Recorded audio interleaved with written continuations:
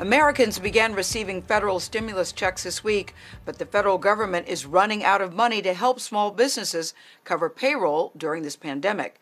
CBS News has learned that officials have already approved at least $338 billion in Paycheck Protection Program loans. Congress allocated 349 billion. The Trump administration says unless more money is authorized, it will have to stop processing the loans. And the latest reports on unemployment indicate millions more people have filed claims for jobless benefits in the past week. And there's no surprise there. Most of us are living under some form of a stay at home order. These restrictions are putting a huge strain on the country's economic health. In our series on the financial fallout from the coronavirus, we follow a dollar through the economy to see why many economists think the bottom could be a long way off. How you guys doing? With so many Americans stuck inside these days, how are you? Very few of us are spending money like we used to. That's especially true for the millions of people now out of work. But what happens when there's suddenly so much social distancing with our dollars? I work for CBS. We're doing a story on the economy. If I keep my distance, can I ask you a couple questions? Sure. Yeah? All right, cool. Last month, Denise Millhouse lost her job as a home health aide in Brooklyn. I'm not spending money because I don't have no way to pay my rent. Did you have a favorite spot you would go to? Apollo, right up the block on J Street. Apollo up here? Apollo, yes. Yeah. So we walked over to her favorite diner, where she normally spends about $200 a month. Owner Mike Miseriotti says he's worried that without income from customers like Denise, his business won't be able to survive.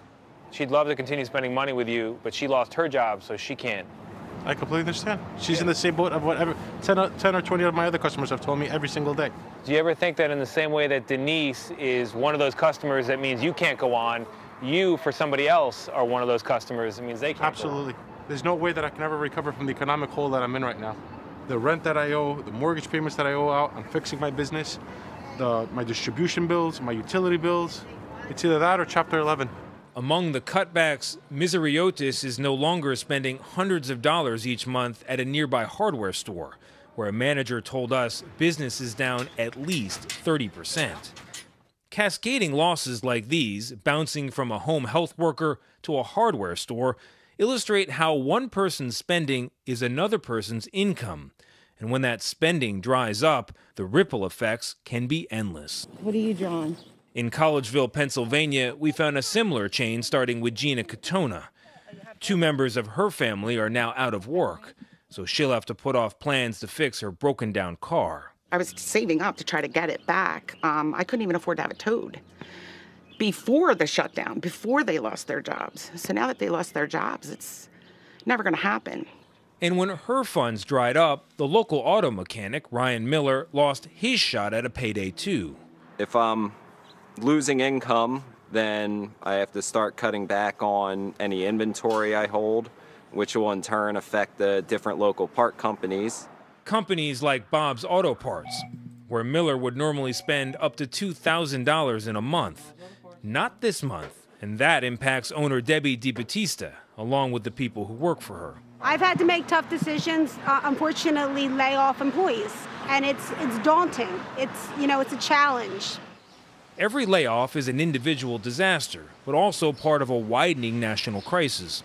As economist Hank Eskin has witnessed, cash connects us all. Have you, in your tracking, had bills travel to every state in America? Oh, yeah, every state, every county in the country. Um... His website, Where's George, allows people to track the spread of money through the economy using the serial numbers on bills. He says since the virus struck, hits on Where's George are down about 50%, suggesting circulation is down too. Uh, the ripple effect will probably last, I'm guessing, a generation or probably two generations. Uh, long after you know we're gone, it's still going to be recovering from this. For now, Debbie DiBattista says the stress is hard to bear, but there's solace in knowing she's not bearing it alone. It's not easy because it's no one's fault. My employees did nothing to deserve this. That repair shop did nothing to deserve it. The woman whose car broke down did nothing to deserve it. Everyone's working hard, and it's not like you're the only one, you're isolated. Talking to other businesses, other people, helps you feel like everybody has something in common. Like this is something that we're all kind of united together to try to get through.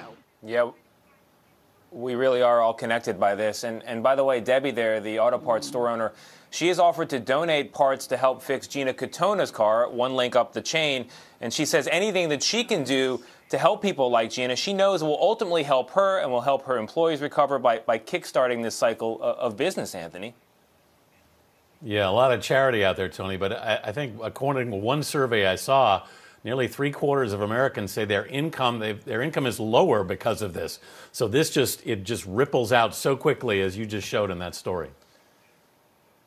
Yeah, and you know, it, it, occurs to me that what's really important there is that some Americans who are in a position to keep on spending, I've been hearing from people who say, you know, I'm still paying the hair salon or I'm still paying the gym because I can do it and I know they need it right now. Mm-hmm. I love hearing stories like that. If there are people out there in, in their communities who are seeing that, that, that happening, go to our Facebook page, let us know. I think it really brings us all together.